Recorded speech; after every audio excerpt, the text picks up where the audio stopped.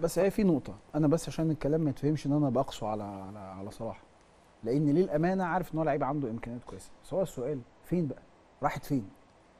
بقى بيضيع الكرات خد بالك دايما في تحليلكم أفتكر وفي تحليل آه، تامر وعز اللعيب الصغير لو جاب لي جون الماتش اللي فات وجي ضيع لي انفراد عادي. مش. أنت مش مطلوب مش مطلوب منك حاجة يعني. بس لما تكون صلاح محسن ودافع فيه كل- فلوس كتير جدا. وبعد كذا موسم رحت ورجعت واعاره وبتاع.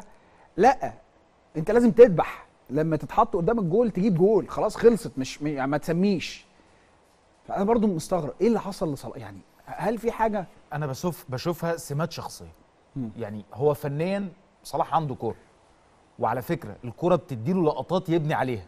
بس هو ما بيبنيش. يعني لقطة ماتش الأهلي والزمالك 2 2 مم. نزل كبديل وأحرز هدف غالي جدا. مم. بس هو ما بناش. رجع تاني ورا. فمع الأهلي أنا أفتكر إن هو أحرز هدف الفوز في مباراة أياكس الودية تقريبا.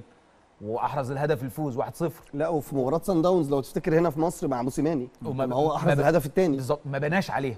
أنا بشوف إن هي مشكلة صلاح مش فنية. فكرة فنية إيه؟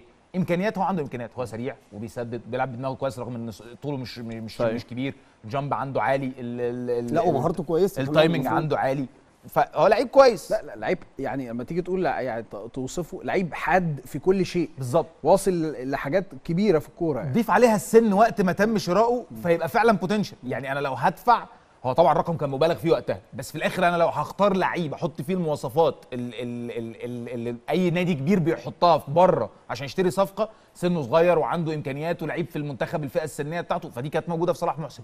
أنا بشوف إن التحول هو التحول المعتاد لأي لعيب بيروح أهلي وزمالك.